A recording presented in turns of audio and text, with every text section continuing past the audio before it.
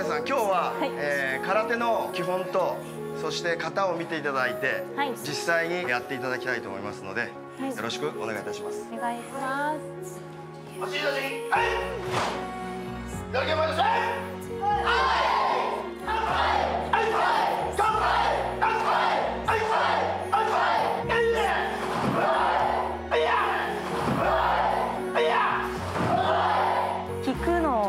く引い。たらパンチそうあ上手ですね。引くのを早くすると突きが早く出ますこんな感じで。さっき先生の声がすごくてびっくりしました。失礼しました。いやいやいや。やる気はまいりましたこうで。すすい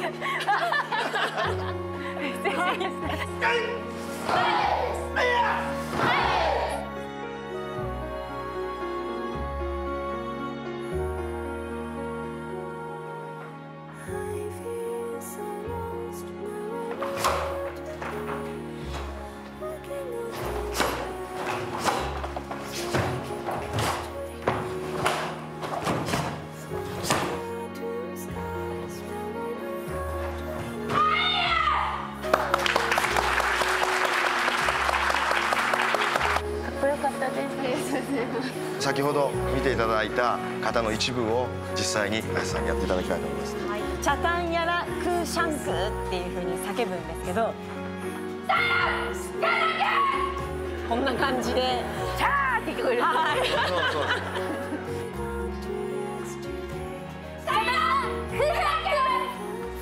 開きます。当てます。どうして？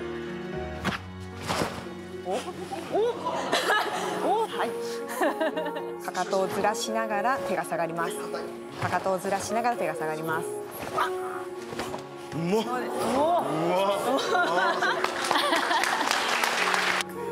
連続で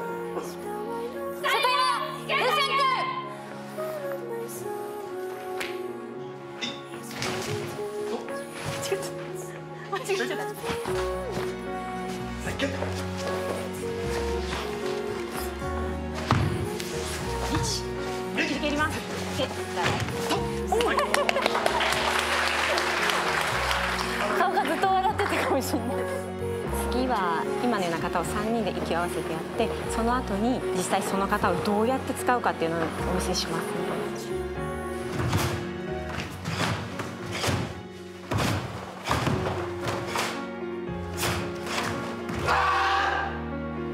息がぴったりですね。はい。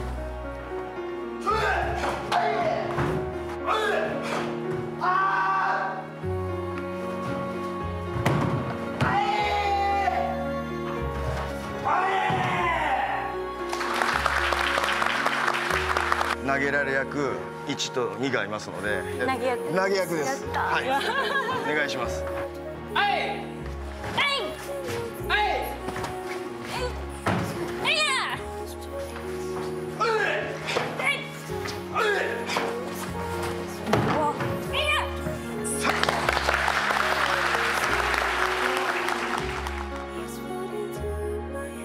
空手はどんな感じだったんですか？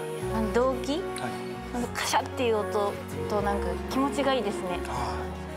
空手道場が家だったので気づいた時からもう空手の道着を着てやっていたという状況です。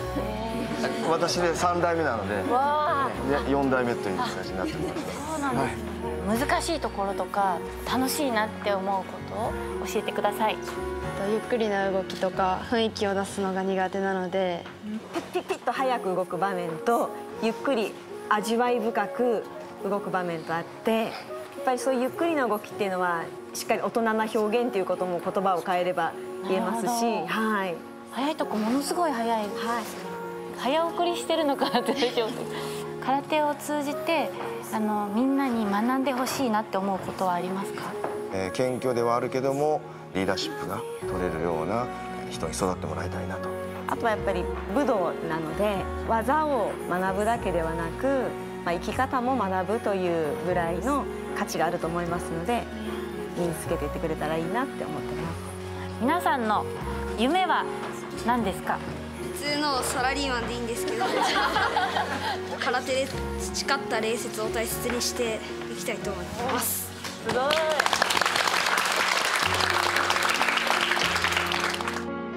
技を学ぶだけでなく生き方を学ぶ。型が教えてくれることはきっとみんなの宝物になっていく